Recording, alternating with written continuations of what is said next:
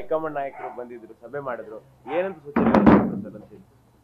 No, ಎಲ್ಲ ಏನು ಮುಖ್ಯಮಂತ್ರಿಗಳ ಬಗ್ಗೆ ಅನವಶ್ಯಕವಾದ ಆಪಾದನೆಗಳನ್ನು ಮಾಡಿ ವಿರೋಧ ಪಕ್ಷದವರು ಪಾದಯಾತ್ರೆ ಮಾಡಿ ಗೊಂದಲ ಸೃಷ್ಟಿ ಮಾಡ್ತಾ ಇದ್ದಾರೆ. ಅದಕ್ಕೆ ಸರಿಯಾದ ಉತ್ತರ ನೀವು, ನೀವೆಲ್ಲರೂ ಕೂಡ ಕೊಡಬೇಕು. ಪ್ರತಿಯೊಬ್ಬ ಸಚಿವರು ಕೂಡ ಅದರ ಬಗ್ಗೆ ಮಾತನಾಡಬೇಕು ಅಂತ ಹೇಳಿದ್ದಾರೆ. ಅದನ್ನು ಈಗಾಗಲೇ ನಾವೆಲ್ಲ ಮಾಡ್ತಾ ಇದ್ದೇವೆ. ನಮಗೂ ಕೂಡ ಅವರ ಪಾದಯಾತ್ರೆ ಎಲ್ಲೆಲ್ಲಿ ಮಾಡ್ತಾ ಇದ್ದಾರೆ, ಅಲ್ಲಿ ಅದರ ಹಿಂದಿನ ದಿವಸ ನಾವು ಹೋಗಿ ಅನೇಕ ಪ್ರಶ್ನೆಗಳನ್ನು ಅವ್ರಿಗೆ ಹಾಕ್ತಾ ಇದ್ದೇವೆ. ನಿಮ್ಮ ಕಾಲದಲ್ಲಿ ಏನಾಗಿತ್ತು ಅನ್ನೋದರ ಜೊತೆಗೆ ನಾವು ಈ ಘಟನೆ ಬಗ್ಗೆ ಅಥವಾ ಈ ವಿಚಾರದ ಬಗ್ಗೆ ನಾವು ಕೂಡ ಪ್ರಸ್ತಾಪ ಮಾಡಿ ಸತ್ಯಾಂಶ ಏನಿದೆ ಅನ್ನೋದನ್ನು ಹೇಳ್ತಾ ಇದ್ದೇವೆ.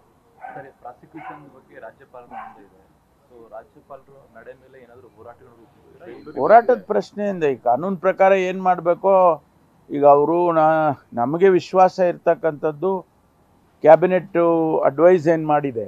ನೀವು ವಾಪಸ್ ತಗೊಳ್ಳಿ ಶೋಕಾಸನ್ನ ಮತ್ತು ಆ, ಆ ಪ್ರಾಸಿಕ್ಯೂಷನ್ಗೆ ಏನು ಕೇಳಿದ್ದಾರೆ ಅಬ್ರಾಮ್ ಅದನ್ನು ರಿಜೆಕ್ಟ್ ಮಾಡಿ ಅಂತೇಳಿ ನಾವು ಆ್ಯಸ್ ಎ ಕ್ಯಾಬಿನೆಟ್ ಅಡ್ವೈಸ್ ಮಾಡಿದ್ದೀವಿ ಗವರ್ನರಿಗೆ ನನಗೆ ವಿಶ್ವಾಸ ಇರತಕ್ಕಂಥದ್ದು ಒಂದು ಕ್ಯಾಬಿನೆಟ್ಟು ಗವರ್ನರಿಗೆ ಸತ್ಯಾಂಶವನ್ನು ಹೇಳಿ ನೀವು ಇದನ್ನು ಸರಿ ಇಲ್ಲ ಅಂತ ಅಡ್ವೈಸ್ ಮಾಡುವಾಗ ಅದನ್ನು ಮೀರಿ ಅವ್ರು ಮಾಡ್ತಾರೆ ಅಂತ ಹೇಳಿ ನನಗೆ ಅನಿಸೋಲ್ಲ.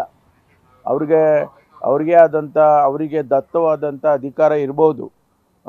ಆದರೆ ಕ್ಯಾಬಿನೆಟ್ಟಿನ ಅಡ್ವೈಸನ್ನು ಅಷ್ಟೊಂದು ಸುಲಭನಾಗಿ ಅವರು ರಿಜೆಕ್ಟ್ ಮಾಡಲ್ಲ ಅಂತ ಅಂದ್ಕೊಳ್ತೀನಿ ಹಾಗೂ- ಮೀರಿ ಅವರು ಪ್ರಾಸಿಕ್ಯೂಷನ್ ಪರ್ಮಿಷನ್ ಕೊಟ್ಟರೆ ನಾವು ಅದನ್ನು ಕಾನೂನು ಹೋರಾಟವನ್ನು ಮಾಡ್ತೇವೆ.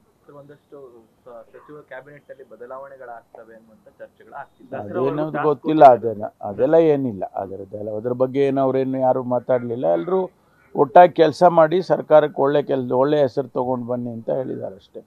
ಆ ಕ್ಯಾಬಿನೆಟ್ ರಿಷಫಲು ಅಥವಾ ಖಾತೆ ಬದಲಾವಣೆ ಈ ಥರದ್ದು ಯಾವುದು ಚರ್ಚೆ ನಮ್ಮ ಹತ್ರ ಮಾಡಲಿಲ್ಲ.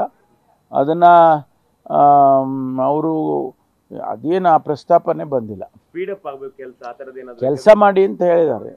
ಎಲ್ಲ ಕೆಲಸ ಮಾಡಿ ಒಳ್ಳೆಯ ಒಳ್ಳೆ ಹೆಸರು ತೊಗೊಂಡು ಬನ್ನಿ ಸರ್ಕಾರಕ್ಕೆ ಅಂತ. ಹೌದು, ಅವರು ಈಗ ನಾವು ಸಿ ಐ ಡಿ ಕೊಟ್ಟಿದ್ದೇವೆ, ಅದರ ತನಿಖೆ ಮಾಡ್ತಾರೆ. ಮತ್ತು ಪೋಸ್ಟ್ಮಾರ್ಟಮ್ ರಿಪೋರ್ಟು ಕೂಡ ನಿರೀಕ್ಷೆ ಮಾಡ್ತಾ ಇದ್ದೀವಿ. ಅದು ಬಂದ ಮೇಲೆ ಗೊತ್ತಾಗುತ್ತೆ, ಯಾ, ಏನಕ್ಕೆ ಸತ್ತಿದ್ದಾರೆ ಅವರು ಅಂತ. ಜೊತೆಗೆ ನಾನು ಕೂಡ ನಾಳೆ ನಾಡಿದ್ದು ಹೋಗ್ತಾ ಇದ್ದೇನೆ. ಹೋಗಿ ಕುಟುಂಬಕ್ಕೆ ಸಾಂತ್ವನ ಹೇಳಿ ಬರ್ತೇನೆ. ಮತ್ತು ಅವರ ಶ್ರೀಮತಿಯವರಿಗೆ ಕೆಲಸ ಕೊಡಬೇಕು ಅಂತ ಹೇಳಿ ನಾವು ತೀರ್ಮಾನ ಮಾಡಿದ್ದೇವೆ.